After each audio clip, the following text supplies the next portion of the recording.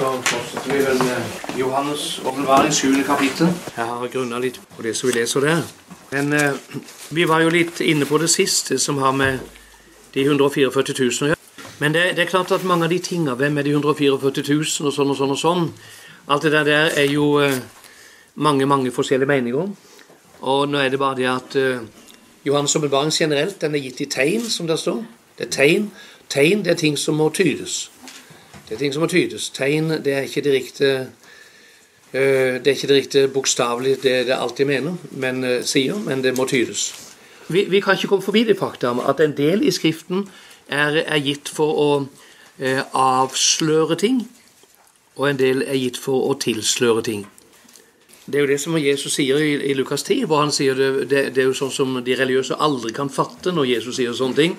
Han sier dette har du skjult for de vise og forstandige, men åpenbart for de umyndige.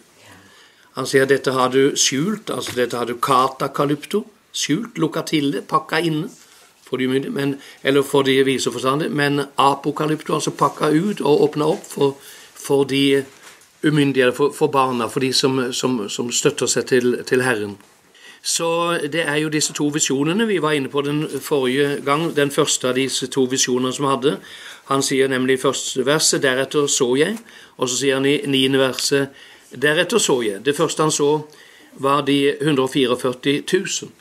Og det er egentlig, sånn som jeg ser det i hvert fall, et svar på det siste spørsmålet i det sjette kapittel. Ofte så er jo kapittelinndelinga i Bibelen den er jo ikke noe som eh, Gud sånn sett egentlig har funnet på, men teologene, og godt er det at vi kan dele det inn så vi kan finne greit frem i Bibelen. Men av og til så er kapittelinndelingen i Bibelen eh, helt feil. Det, det, vet vi. Eh, det vet vi at eh, teologene, eller de som har funnet på å dele den inn, de har, eh, de har, gjort, eh, de har gjort noen bommåter.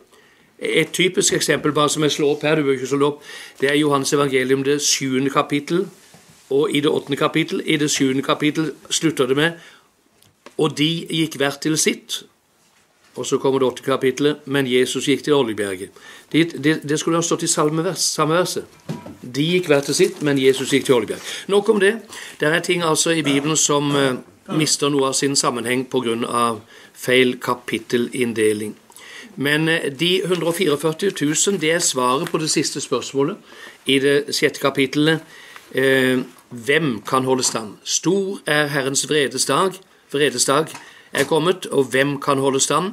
Da er det to grupper som er omtalt i det sjuende kapittelet, som kan holde stand. Det sjuende kapittelet, som jeg nevnte sist, er jo en parentes innen Johannes' åpenbaring, og så er det at vi leser eh, om alle disse tinga. Men vi skjønner jo at de 144 000 er, eh, er av Israels folk. Selv om det er mange forskjellige ideer om hvem de er, så kan man ikke lett hoppe over at det er 12 000 fra hver stamme. De står nevnt her, det ville vært fullstendig meningsløst å si 12 000 fra den stammen, 12 000 fra den sammen, hvis de ikke kom fra de sammen. Så måtte det jo være meningsløst. Da da må jeg si, da, da, er Bibelen, eh, da er Bibelen bare en en prestasjon av, av dum, dumhetens forfatterskap.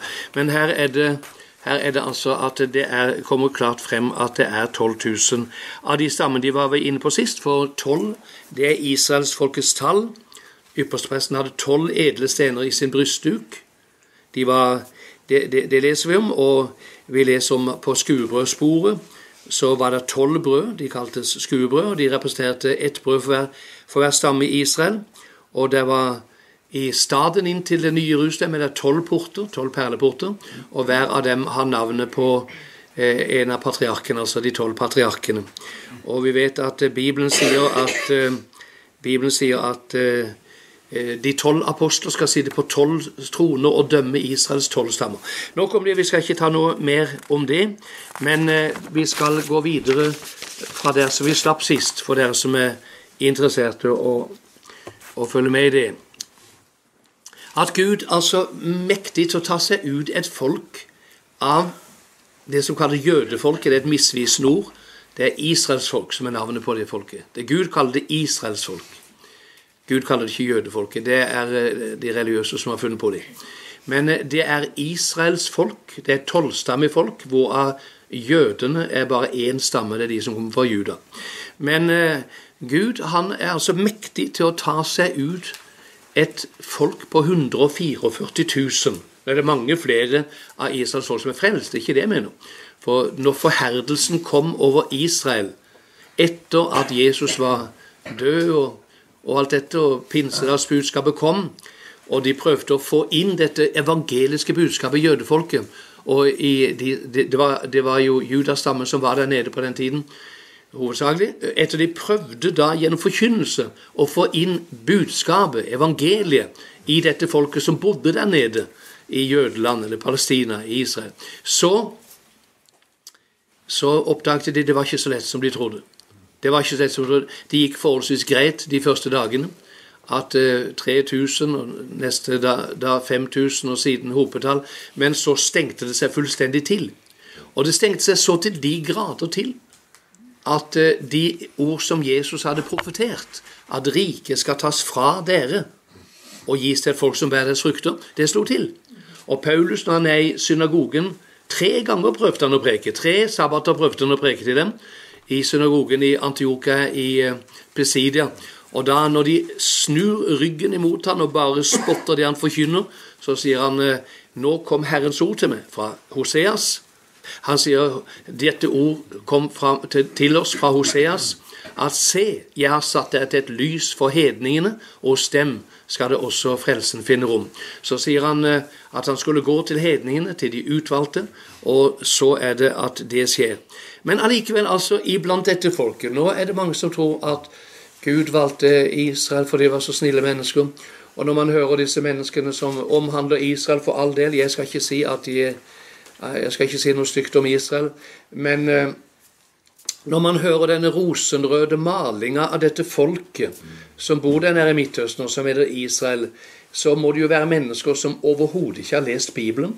For Gud sier 'Jeg valgte ikke dere ut fordi dere var noe bedre enn andre', men tvert imot fordi dere var de verste av alle folk på jorden.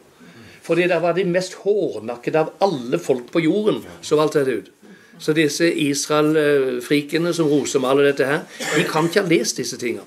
At når Gud velger ut noe og skal lage noe ut av det, så tar han ikke et kvistfritt fòreemne, men han tar det som er så mye kvister og kvast i som mulig, for å vise at jeg kan lage noe ut av noe som ingen andre overhodet kunne få noe ut av. Og sånn er det han valgte Israel. Og ut ifra dette hårnakkede folket tar han ut 144 000. Man kunne kanskje være, tenke at han måtte være glad hvis han hadde fått 140 000 og slått seg til ro med det. Men har Gud sagt 144 000, så tar han ut 144 000. Så enkelt er det med Gud. At det han har sagt, det gjør han. For han taler, og det skjer. Og han byder, og så står det der. Så sånn er det med den mektige Gud som vi har. Så jeg satt og tenkte på det som vi leser i Første Mosebok 20 vers 7. Du vet, Der er det at eh, Du vet, Israel jeg var inne på det sett, Israel de ble assimilert iblant nasjonene over hele verden. De ble spredt til alle folkeslag. Noen her og noen der, og eh, delvis oppslukt. Eh, dog allikevel så er det en, et, et, et mirakel. Et mirakel hvordan Israel ikke totalt er blitt oppslukt. Så den nasjonaliteten som de representerer, totalt var utvanna, utvanska ved giftermål på kryss og tvers. Noen av dem har jo selvsagt gifta seg med andre. Men Gud, han, han gjorde Israel sånn at det var nesten umulig for hedninger å ha noe med Israel å gjøre. Så de som virkelig ville være israelitter, etter paktene og etter loven og etter alle de bud og forskrifter i hundrevis som gjaldt for dette folket, og som Gud ga først tibudsloven, og så ga han hele seremoniloven, som han med alt, med mann og kvinne, og renhet og urenhet, og rene dyr og urene dyr, og giftermål og det, det hadde med tusenvis av ting å gjøre. Hvem ville gifte seg med sånne mennesker? som hele dagen fra morgen til kveld var belagt med 'du skal ikke', og 'du må ikke', det kan ikke, du kan ikke drikke melk sammen med kjøtt, og du kan ikke, du, du kan ikke ditt, og du kan ikke datt. Og det, For menn og for kvinner faser i livet så gjaldt regler, og for giftermål gjaldt regler, og for alt hva de skulle spise. 'Jeg kan ikke spise det, kan du skjønne, for det er det urent dyr.' 'Ja, men det er, jo, det er jo deilig kjøtt.' Ja, men vi kan Altså, du kan si De var så belagt med å innegjerde i rammer og bud og regler at det bevarte folket som et folk som ikke noen ville egentlig gifte seg inn i. Og derfor til dels er israelsfolket bevart. Det skjønner du sikkert. Men eh, du vet, da, da Abimelek, den eh, egyptisk-relaterte kongen Abimelek, tok kjerringa fra Abraham Sånn som verden da hadde tatt israelsfolket ut fra sin sammenheng, så kom det en dag hvor Gud sa til Abimelek i 1. Mosebok 20 vers 7.: La nu mannen, altså Abraham, få sin hustru tilbake, for han er en profet, og han kommer til å be for deg. Ser du? Her er det nemlig et profetisk budskap i dette. La Abimelek, sa Abimelek, la Abraham få kona si tilbake. For denne mannen er en profet, og han kommer til å be for deg. Og det er nettopp det.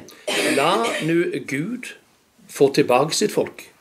Gud må ha tilbake sitt folk, som da Satan rører rundt i verden i sin svære politiske, hva skal jeg si, kulturelle lapskaus, som må få det tilbake der den skal være. For dette folk er et profetisk folk. De hører til en, profe de hører til en profetisk stamme som kommer til å ha betydning for verden, som han sa, for han skal be for deg. Og da var det med en gang Abimelek skjønte at nå må jeg la bare Sara gå. Og sånn er det med disse folkene som får beskjed av Herren. La mitt folk fare. La mitt folk fare. Farao fikk høre det. La mitt folk fare. Og sånn er det han sier, vet du, Isaias. Jeg skal hente min folk fra Etiopia, fra Østen, fra Afrika. Fra de forskjellige landene skal jeg hente mitt folk, og ingen kan holde dem tilbake. Ingen kan holde dem tilbake, for Gud har gitt beskjed om det. Og det er også sånn som Elias i 1. kongebok 19 vers 18 sier. Han sier For hele Israel på den tiden var jo også frafalt og hadde begynt å tilbe avguder. Avguder og det ene med det andre. Eh, og Baal og Astart og alt dette her. Og de synes som at israelsfolket var fullstendig tapt for Gud. Og sånn synes det jo også opp gjennom århundrene. Helt ifra år 70, da Israel ble drevet ut av sitt land av de romerske, eh, av de romerske hærførerne. Titus og Vespasian og alt dette som du har lest om. Eh, så er det at eh, i snart 2000 år har de vært ute av landet. Går det an å finne noe sånn igjen? Er det virkelig noen igjen der ute som det kan hankes inn 144 000 mennesker av? Er det noe igjen? Av dette folket som på så mange måter har styrt noe av det mest frafalne tanker som verden har hatt. Noe av det mest grusomme despoter verden har hatt, kommer fra dette folket. De største øverste KGB-lederne i Russland, lederne av mafia Man kan nevne det i fleng. Man kan nevne det i fleng. Jeg har, jeg har, bøker med hundrevis av navner på toppledere i verden innen frimureri, Illuminati All den djevelskap som fins, som var styrt av jødefolket. Selvsagt var det det. Det er ikke noe å benekte det. Så kan man si kan Gud finne 144 000? Han sa til Elias, da Elias begynte å bli litt, eh, litt eh, skvetten hvordan dette skal gå, så sier han jeg, ennå, jeg har levnet med 7000 som ikke har bøyd kne for Baal. Ja, Cornelia sier de har ikke jeg sett mye til i mine møter, nei. Men den dagen som eh, kommer, som Gud har bestemt, så kommer 7000 til å sprette opp. Som Gud har tatt ut og som ikke har bøyd kne for Baal og kysset han med sin munn, sier han. Så sånn er det at det kommer til å skje. Så det som, det som vi i denne tida som vi lever, og vår misjon, er det å prøve å involvere oss i politikk som kan sikre Israel sine landløfter. La meg si det en gang, en en gang langt, langt ifra. Det er totalt misforstått at Guds menighet skal involvere seg i den verdenspolitiske spill som skal være med å sikre Israel at de får de løftene som, landløftene som Gud ga til Abraham, og siden repeterte til Isak og siden repeterte til Jakob. Det er totalt meningsløst. Det fins ikke ett sted i Skriften som taler noe om dette. Jesus sier til apostlene, 'Gå ut i all verden' og hanke inn jøder som er adspredte. Han sier ikke det. Gå ut i all verden og forkynn evangeliet for all skapning. Den som tror og blir døpt, enten det er amerikaner eller israelitt, den som tror og blir døpt, han skal bli frelst. Det er en veldig viktig ting at eh, vi gjør det, at vi går ut og forkynner evangeliet, og ikke blander oss inn i religiøs politikk. Den biten kommer Gud til å ta seg av. Den kommer Gud til å ta seg av. Skal vi gå ut i verden i dag og så føre en statistikk over hvor mange av Israels tolv stammer er blitt frelst, og hvis vi har fått lagt alle statistikker sammen fra alle land og alle møter og vekkelsesmøter, så finner vi at nå er 144 000 frelst, så kan vi bare ta kvelden. Det er overhodet Du kommer ikke til å finne én av de frelst gjennom den vanlige måten som vi tenker på. Ikke én av dem de er altså besegles av Gud og kommer inn i en helt annen avdeling av utvelgelse enn den vi er i. Og det må vi ha klinkende klart for oss, ellers så går vi rett med begge beina i baret, som de fleste.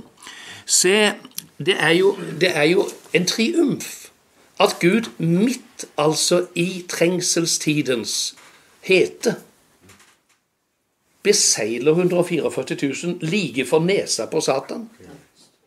Han kan ikke løfte en finger og forhindre det. Like for nesa på Antikrist, like for nesa på den falske profet, og like for nesa på kongene på jorden som er samla inn med disse paddeåndene, like for nesa på hele dette djevelske assemblet. Så tar Gud og så forsegler 144 000. Det er, det er fantastisk. Og det, det er et seil i Bibelen. Det betegner altså en eh, tilhørighet. Det betjener en tilhørighet. I åpenbaringen 7.2 så leser vi her i dette kapittelet vi har for oss, og jeg så en annen engel, ikke blant de eh, fire englene som er det første verset, men jeg så en engel, annen engel som steg opp fra solens oppgang og hadde den levende Guds seil han hadde levende Guds seil. Og han taler til disse englene som nå skal slippe løs alle straffedommene, at du må ikke slippe løs straffedommen før vi har satt innseil på vår Guds tjenere i deres panner, ser du der i det tredje verset. Så, så seil, det er, en, det er en måte å markere at det er noe du eier. Det er noe som du har kontroll over, noe du eier. Husker du da Jesus ble begravd, så satte Cæsar sitt seil på graven. Med andre ord, denne graven er min eiendom. Det er min eiendom. Eh, så det brydde ikke da engelen seg om. Han reiv i stykker det seilet. Men uh, dette her som Gud har forsegla, det er for å vise at det er han. Det er så en annen engel som steg opp av solens oppgang. Anatole Helio. Anatole Helio, og det er et veldig sterkt ord. Det, det steg opp av morgenrøden. Altså Det er et eller annet eh, som her skjer. Det er en, det er en sele, det er, solo, det er solokammerens lys. Altså, det er fire vinder som står og venter på å slippes løs, med all den uhygge som de fører med seg, som jeg var inne på sist. Så står de og holder på disse fire vindene, som har bare lyst til å blåse ned alt som er. Men der, altså mens de må stå og se på, så går det også opp en sol. Og under denne flotte morgengryen som vi leser om her, så er det altså at, at, denne engel kommer frem, og at Gud beseiler eh, sine utvalgte. Det er en fantastisk ting å se på. Gud har alltid hatt et seil på sine. Og hvis det, du er her i kveld, som du jo er, og hører Herren til, som du jo gjør, så har du et seil på deg. Du er klar? Du har et seil på deg som ingen djevel kunne hindre Gud i å sette på deg, og som ingen djevel kan fjerne. Når Gud kom til Abraham, så sa han jeg skal sette et seil, et paktens seil, og det var omskjærelsens tegn. Og dette var tegnet på Guds folk. Det var omskjærelsens tegn. Så kan vi si ja, ja, ok, det var mannfolka, men hva med de stakkars kvinnfolka?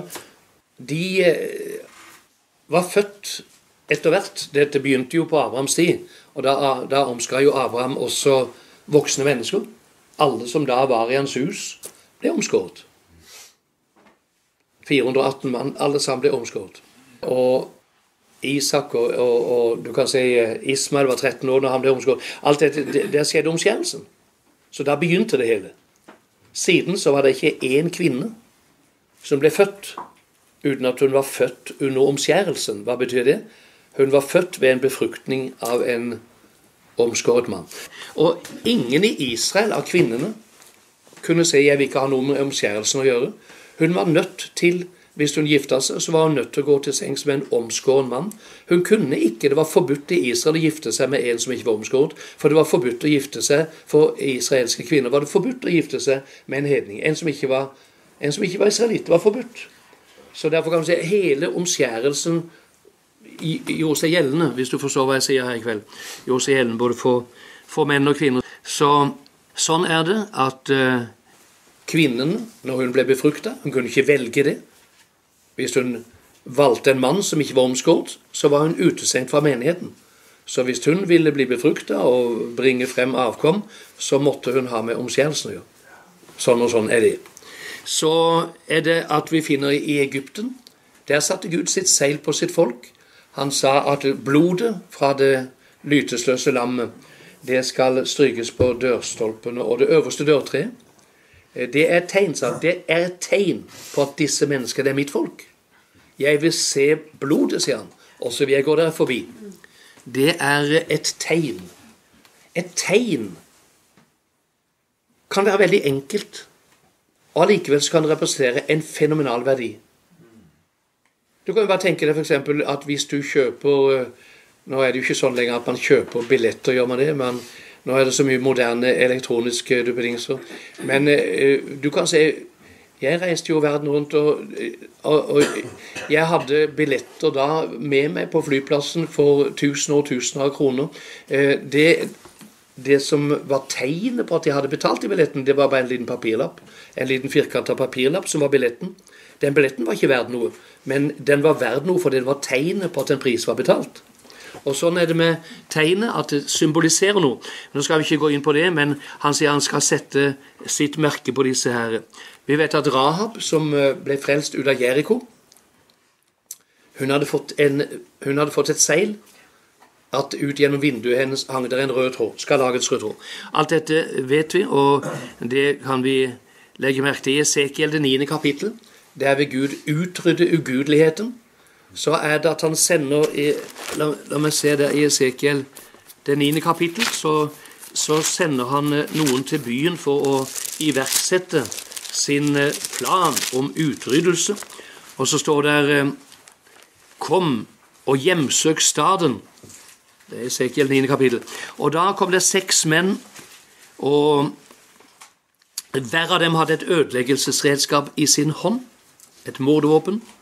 Og så var det én mann som var kledd i linklær og hadde et skrivetøy ved sin den, og han kom inn og stilte seg. Så sier han til denne mannen, som hadde skrivetøyet, altså et merkepenn, i handa, så nå skal du, i fjerde verset, gå midt gjennom staden, midt igjennom Jerusalem, og sette tegn i pannen på de menn som sukker og jamrer over de vederstyggelige ting som skjer der. Og til de andre, altså de med mordredskap i handa, ødeleggelsesredskapet, så sa han i det femte verset, gå gjennom staden efter og slå ned. Vis ikke skånsel og sparingen. Gamle folk, unge menn, jomfruer, spedbarn, kvinner skal det hugge ned for fotet, men dere må ikke røre noen av dem som tegnet er på. Så begynte de fra helligdommen, og så slo de ned. Og så fylte de opp huset med lik og drepte. Så står det i det åttende verset, men mens de slo ned, og jeg ble igjen. Det var én mann som hadde merke på seg. Vi leser om her, vi leser ikke om noen andre. Det var én mann som hadde merke på seg. Og hvorfor ble han merka? Fordi at han sukka og jamra og stønna over urettferdigheten. Han, eh, der står der at uh, de som sukrer og jamrer over de vederstyggelige ting som skjer der, de skulle merkes ut. Gud har alltid altså hatt et tegn. Dette er bare noen av de stedene eh, som vi leser om det. I Åpenbaringen 19 så ser vi åpenbart 19. kapittel så ser vi at Antikrist, som da skal kopiere Kristus i alt hva han kan finne på å gjøre, han setter også et tegn i panna på, på, på sine. På sine etterfølgere setter han et tegn. Som, akkurat som Herren har satt et tegn i panna i det 7. kapittel på de 144 000 i Efeserbrevet. I så ser du hvilket seil som du har. Der står det følgende i kapittel 1 og vers 13. Der står det i ham har også dere, da dere hadde hørt sannhetens ord evangeliet om deres frelse, i ham har dere òg, da dere var kommet til troen, fått til innseil Den hellige ånd, som var sitt, han som er pantet på vår arv, til eiendomsfolkets forløsning, hans herlighet til pris. Ser du det? Veldig fin disse versene. Vi har vært inne på det før. Altså, De som har kommet til troen, de har fått et innseil Den hellige ånd. Det er en ånd inni deg som vitner med Guds ånd at du er Guds barn. Et innseil. Du kjenner jeg hører Herren til. Det er et samsvar i ånden. Det er noe inni deg som forteller deg at du er hans eiendom. Og du kjenner det hvis eh, Satan kommer, det kan jo hende han kommer, og vil få deg til å gjøre forskjellige ting. Så kjenner du dog inni deg det skulle jeg ikke gjøre, for jeg hører Herren til. Du kjenner det med en gang at eh, 'jeg hører Han til', så jeg kan ikke blande meg med det og gjøre det. og Jeg kan ikke være ett med de menneskene der, for jeg er ikke i den samme familie. Jeg hører Herren til. Jeg er et barn av Han. Og det er ikke fordi du har et medlemskort i en menighet. Det er det minst viktige av alt her i verden. Men det som er det viktige, det er at du har et medlemskort i din ånd. At du har et tegn i ditt indre menneske at 'jeg hører Herren til'. Der står at dette tegnet det har han gitt oss som et pant på vår arv inntil vi eventuelt faller fra. Det står det overhodet ikke, men det står 'inntil forløsningens dag'. Det er inget frafall for sånne mennesker. De er bevart hos Herren inntil Han kommer. Frafall av troende mennesker er fremmed for Bibelen. I de religiøse forsamlingene er det jo det mest vanlige. Det er jo det mest vanlige, det hender jo hele tiden. Og de ber, for folk som har vært frafall 10 og 20 og 50 ganger. Men du finner ikke ett tilfelle i Bibelen på noe som minner om det. I Bibelen er frelsen evig og sikker. Og det som Herren har sagt, ingen kan rive dem hånd, ut av min hånd. Derfor sier han at pantet som vi får, det skal være der inntil forløsningens dag. Hvis du tar eh, i Efesbrevet 4 og vers eh, skal vi se, 30, så sier han eh, og gjør ikke Guds hellige ånd sorg, han som da har fått til innseil til forløsningens dag. Vi har fått en ånd inni oss som er pant, og den ånden kan vi gjøre sorg, men den kan vi ikke miste, for Guds folk er merka med dette innseilet. Så er det er han skrevet her hvorfor merka Gud bare de 144 000 av Israels barn? Det er jo eh, er det ikke 15 Per i dag så er det vel ca. 15-16 millioner av de de kaller jøder rundt omkring i verden. da. Det er jo tvilsomt om de er, hvor mye jøder de er, men, men av disse så kan du si at 144 000 Det virker jo bare som en dråpe i havet i forhold til den store mengden. Kunne ikke han som tok ut Abraham og Isak og Jakob og gjennom Jakob de tolv stammene, kunne han ikke like godt ha spandert og merka de alle sammen? Er ikke det å gjøre forskjell på folk når han bare plukker ut 144 000? Det har vi igjen dette her med utvelgelse. Det er bare ett svar på hvorfor det er 144 000. Det er fordi de er utvalgte. Er det ikke fordi de fant på at jeg vil være en av de 144 000? Aldri i livet. 144 med tre nuller etter, så skulle det bare være en tilfeldighet. Og så tolv med tre nuller etter for hver stamme. Og de stammene er høyst ulike størrelse høyst ulike størrelser. Så både sannsynligheten og statistisk og på alle måter så virker det helt fullstendig, eh, fullstendig umulig. Men vi ser Guds utvelgelse, og Gud har utvalgt dem til å være sine tjenere. Og la meg si, De er altså ikke med i vår utvelgelse, men de er med i en utvelgelse i trengselstiden. Det skal vi komme tilbake til. Guds seil, det er Den hellige ånd. Guds seil er Den hellige ånd. Etter ånden ble gitt, så er Guds seil Den hellige ånd. Du finner ingen i Det nye testamentet som ble pålagt å omskjæres. Det var noe som judaistene kom og prøvde å få de kristne også til å omskjæres. Det tegnet var gått av moten. I åndelig forstand så var det, det var gått ut på dato. Du finner ingen kristne som ble bedt om å henge skarlagensrød snor ut gjennom vinduet. Du finner ingen som var bedt om å stryke noe lammeblod på dørstolper osv. Du finner ingenting av de tinga der. Du finner ingen som uh, Paulus i og satte et kryss i panna på. Eh, som skulle spares. Ingenting av det. I Det nye testamentet finner du bare ett eneste tegn over hele linja, og det er Den hellige ånd. Derfor er det sannsynlig, jeg har satt og grunna litt på det, det er sannsynlig at eh, det er, eh, det er dette åndens tegn som gir dem kraft til å være de vitnene som de skal være i endetiden. Andre Korinterbrev 1 sa det og så på her. Andre Korinterbrev 1 og vers 21 eh, og 22. Der står det Men den som binder oss til like med dere fast til Kristus, og som salvet oss, det er Gud, Han som òg satte sitt innseil på oss og ga ånden til pant i våre hjerter. Han sier altså den som har gjort oss i stand og bundet oss fast til Kristus, og som salvet oss, det er Gud. Og på hvilken måte salvet han oss? Han salvet oss ved å sette et innseil på oss og ga oss ånden til pant i vår hjerte. Ser du det står der? Og hva står det så om Jesus? Jesus i Johannes det sjette kapittel og 27. verset. Johannes 6 og vers 27. Der står det 'Arbeid ikke for den mat som forgår, men for den mat som varer til evig liv'. Den som menneskesønnen skal gi dere, for på ham har hans far Gud satt sitt innseil. På ham har Gud satt sitt innseil. Så at eh, måtte Gud sette sitt innseil på Gud, hvis treenighetslæren er riktig, så er det jo slik at eh, det er Gud Faderen og Gud Sønnen og Gud den hellige ånd. Tre adskilte guder med tre forskjellige legemer, som da til sammen utgjør en guddommelig komité på tremannskomité, som sitter på hver sin sol bak et bord et sted. Altså, Det er jo treenighetslæren. Er det slik at den ene guden måtte salve den andre guden for, for, noe, noe fatt i ham? For at han skulle begynne å gjøre noe? Det står ikke det her. Det står at uh, han, han, var salvet som menneskesønn. Han var salvet som menneskesønn. Det var mennesket, Jesus, som ble salvet til å gjøre tjeneste. Og det er jo det han sier 'Herrens ånd er over meg', fordi han har salvet meg. Ikke sant?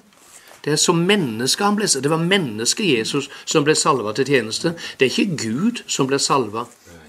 Jeg har aldri hørt om noen Gud som må bli åndsdøpt eller salves på noen måte. De er ferdig salva fra evighet, er det ikke det? Så på samme måte som Gud du vet, Jesus sier at like som Faderen sendte, Johan 17 sier like som Faderen sendte meg til verden, så sender jeg dere. Disiplene ville ha kanskje gått ut med en gang og begynt å preke og holde møter, men Jesus sa det må dere ikke gjøre. Dere må bli i Jerusalem til dere er blitt ikledd salvelsen, kraften fra det høye. Og når dere har fått den kraften, da først kan dere gå ut og forkynne evangeliet. For Jesus gjør like som Faderen sendte meg til verden, sender jeg dere. Og Jesus, da han sto i Jordan og ånden kom over han, og han var identifisert som, som den som Jehovas ånd var over, og salvet med Guds ånd, så er det at han går ut og Da begynte han å forkynne evangeliet. Ikke før. Jesus forkynte aldri evangeliet som barn, som ungdom. Men først når han var 30 år gammel, så begynte han å forkynne budskapet. Da sto Jesus frem og begynte å forkynne. Det er hva Bibelen sier, og det tror vi på. Så på samme måte så vil altså de 144 000 bli beseglet. Vil si at de vil bli salvet med Den hellige ånd til å kunne utføre den tjeneste som de skal. De blir ikke beseglet for å få et sånt artig sånn eh, merke i panna. Så, sånn på å si, Fantomets beskyttelsesmerke. Det er ikke noe sånn som han, eh, det er ikke noe i den stilen, men det er at de er besegla til den tjenesten som de skal ha. Hvordan vil det så bli å møte, da, i trengselstiden, én eller to, eller disse her 144 000 som er salvet med en hellig ånd, med seilet ifra Gud, som er Den hellige ånds salvelse? Hvordan vil det bli å møte disse menneskene? Ja, det kan man jo bare tenke seg til. Men hvis du f.eks. sier at det blir som å møte Hvis du møter en av de, så blir det som å møte Moses da han kom ned fra fjellet. Han strålte så de tålte ikke å se ham. Han måtte henge en sekk over huet. Han måtte legge et tørkle over huet fordi at eh, Israels barn klarte ikke å se på det. Og slik vil de være med den salvelsen.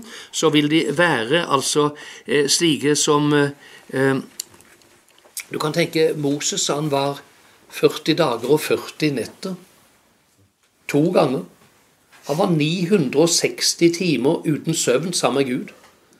Han skua Herrens herlighet på fjellet i 960 timer. Det er klart at, eh, at eh, kontinuerlig samfunn med Gud over så lang en periode det gjorde at han, han, var, han kom jo som en slags ET. Eh, e han kom jo som et helt utenomjordisk vesen. Sånn var det jo israelsfolket oppfatta han da hans åsyn eh, sinte. Eller f.eks. å møte en av de 144 000. Det blir som da Det høye råd var samla for å dømme Stefanus, og Stefanus står der og preker så det gnistrer og spruter. Og der står at de så han hadde en, hans åsyn sinte som en engels. De var ute av stand til å kunne si imot noe av det han sa, for han var så salvet, eh, hans ansikt eh, sinte. Den kraften som han talte av. Og den samme gløden og den samme kraften vil da være over 144 000. Det tror jeg på. Og du kan tenke hvilken dag da 144 000 Peterskikkelser, Paulus-skikkelser, Stefanus-skikkelser osv. Eh, står frem. Når du tenker bare på den lille forsmaken. Eh, der skal jo være 12 000 av hver stamme. Men på pinsa var det jo 120 som hadde fått Den hellige ånd. Og 120 står frem. Det var jo formodentlig mange av dem analfabeter. De kunne vel ikke lese. De kunne ikke lese. Det, det var jo vanlig på den tida, så, så vidt jeg har lest at det, at det var. Og det var jo lege og ulærde menn. De hadde ikke lært noe som helst. De var jo slått av forundring over at de i det hele tatt kunne preke når de hørte på dem. Hvor har de fått sin visdom fra? Så, så de fikk altså en salvelse som langt overgikk teologisk kunnskap og lærdom. Og disse 120 mer eller mindre bakgårds Eller de kom jo fra Galilea, det var jo ikke noen sånn hovedstadsløver. De var, redskap til at hun, de, de var jo redskap til at 3000 ble frelst etter bare en kort preken. Kan du tenke? Siden så var 5000 som ble frelst etterpå. Så det er jo en fantastisk kraft som kommer når 12 000 av hver stamme 144 000 står frem med den åndskraften som de står frem i, så vil det være en forløper for det som vi leser i Rombrevet 11, eh, det står, at det, når deres forkastelse ble til frelsesforhedringen, så vil deres antagelse bli som liv ut av døde. Det blir som 144 000 lik står på gravene og spruter energi ut fra alle kanter. Den gruppen på 144 000 det er en ganske eh, en interessant gruppe. Og akkurat som Peter og Johannes og Paulus da, sto frem på sin tid kan, Når Peter sto frem på pinsa, hva preka den mannen om? Hva preka han om? Var han La han hendene på dem så de gikk på ryggen i gulvet? Var det det han holdt på med, sånn som enkelte amerikanere gjør? Var det han Han gjorde ikke det. Sto han frem og talte i tunger? Nei, han gjorde ikke det. Det er noen som tror at disse menneskene løp rundt og talte i tunger som andre gærninger. De gjorde det ikke. De holdt fullstendig kjeft med tungetallet, mens Peter prekte ifra Det gamle testamentet og la frem åpenbaring over salmene, Mosebøkene, Samuelsbøkene, Jeremias osv. La frem en enorm åpenbarelse. Det var åpenbarelsen i ordet som gjorde at 3000 eh, ble frelst. Det var ikke ett ord tungetallet som gjorde det. Ikke et ord tungetallet frelste er flue.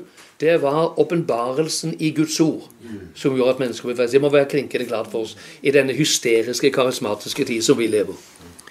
Så det kommer disse 144 000 til. De kommer til å stå frem i trengselstiden og forklare for menneskene på den tiden som de skal vinne, og de skal vitne for, kommer de til å forklare i detaljer, med salvelse, hvorfor verden på det tidspunktet opplever det den opplever.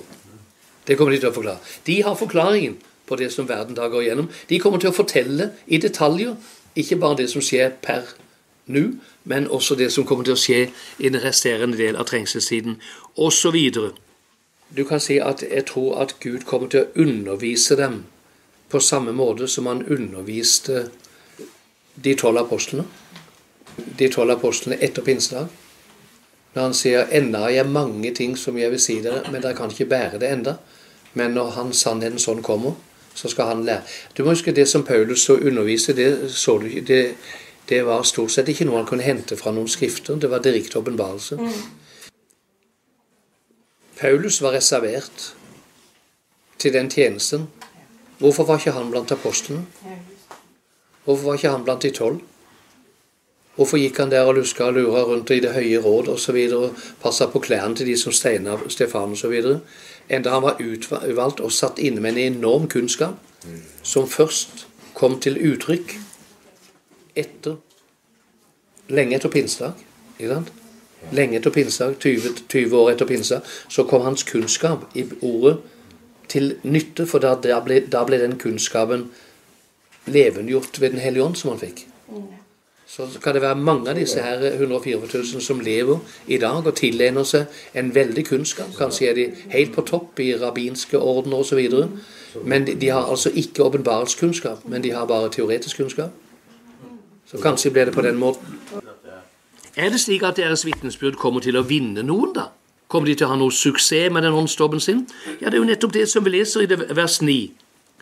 Og det var det jeg tenkte jeg skulle begynne å preke om litt her i kveld. da. Men da sier han eh, deretter, etter han har sett de 144 000, og hva deres beseiling består i, og hva den da utfører, så sier han da så jeg en stor skare som ingen kunne telle. Av alle etter- og folk og tunger som sto for troner for lammet. Han ser altså en enorm skare som kommer til å vinnes av alle nasjoner, folk og etter og tunger. Ja, men kunne de vinne mennesker? De 144 000, det er jo eh, det er jo det de kaller jøder eller israelere. Kunne de vinne mennesker av alle folk og stammer og etter og tunger? Ja, hvis det er noen som kan det, så er det det folket som har vært spredt i 2000 år blant alle stammer, folk, etter og tunger. De har lært alle språk i verden. Det er jo det de har. De har lært alle verdens språk mens de i 2000 år har vært spredt for alle vinder. Og nå er det at det kommer dem til nytte. Nå er det at de reiser ut og til de stedene, eller hvordan det nå skjer, jeg skal ikke legge noe til Bibelen, men i hvert fall så er det sånne mennesker som blir vunnet. Det, det blir kanskje den største vekkelse som verden noen gang har sett. Og neste gang som vi skal ha bibeltime, så har jeg eh, lyst til å komme inn på det. For eh, vilt, midt i trengseltiden hvilken eh, dødelig irritasjon det må være for Antikrist, for Satan, for den falske profet og alle andre, alle andre falske profeter i den tiden, som det vrimler av dette. Hvor irriterende det må være å se 144 000 preker kun sannheten. Med sånn en salvelse at en skare som ingen kan telle, tar imot dette budskapet. Det må jo være grenseløst irriterende for djevelen å være vitne til det. Så er det at eh, det er de 144 000. Men la meg også si at i tillegg til de 144 000, så har du kapittel 11, de to oljesalvede, som kommer til å opptre i denne tiden med slik en eh, mirakuløs eh, Hva skal du si gjerning som Moses og Elias hadde, en videreføring av det. Eh, som også kommer til å kringkastes og sendes på TV over hele verden. Hele verden skal se det. Bibelen sier jo det. Hele verden skal se disse. Så de kommer til å bli verdenskjente, og de kommer til å bli hata av hele verden. Tror vi på det? Ja. ja det er det som Bibelen taler om. Så det, det blir en spennende tid. Men jeg rekker ikke å komme inn på det som jeg tenkte jeg skulle ha begynt med i kveld, og det er det niende verset. Får vi ta det neste gang.